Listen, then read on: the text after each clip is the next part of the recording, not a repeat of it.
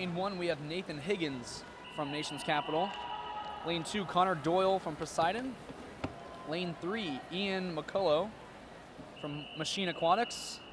Lane four, Jacob Oberly from Nova, Virginia. Lane five, Dane Ripple, who we just saw in the thousand, will be in lane five. Eric Huki from Central Bucks Swim Team in lane six. Taking ownership of seven is Nicholas Viers from Nova, Virginia. And John Sita is in lane eight from Nation's Capital. This morning I also spoke with Cassidy Bayer. Again, shameless plug, check out that interview.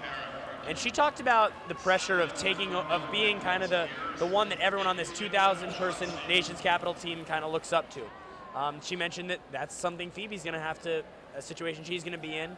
Um, and there have been plenty of others before that, like you, Andrew. I mean, and you know, Katie Ledecky and all the and all the great swimmers that have come through this club. So, what do you think is the key for her as she gets older, more mature, and kind of steps into more of a spotlight role on this team for Phoebe? Uh, as you said, we're, we're a, pretty big team with NCAP, um, and the, the benefit of that is there's a lot of resources and a lot of experience to turn to. Um, you know, she's not the first one who's going to be you know, wanting to compete at a national level. Um, so both as you know, old NCAP swimmers who, you know, may maybe still be around or may come back, you know, who are still in college now. Um, there's that knowledge base to lean on, and the coaching staff as well. There's a lot of the, a lot of there's, a, there's a, just a ton of knowledge in the collective coaching staff with all they have um, there, and so you, to be able to lean on that and learning that you can lean on that um, is, is something that's a, great to take advantage of. Agreed. Yeah, she's.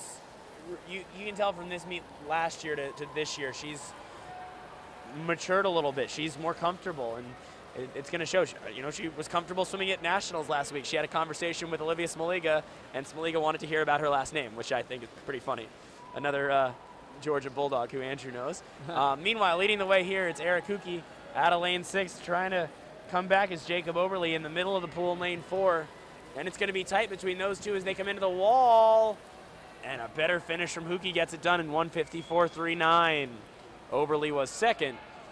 And down at the bottom of your screen, John Sita took third in lane eight. And that'll lead us into our B final of the same event, the boys open 200 yard backstroke.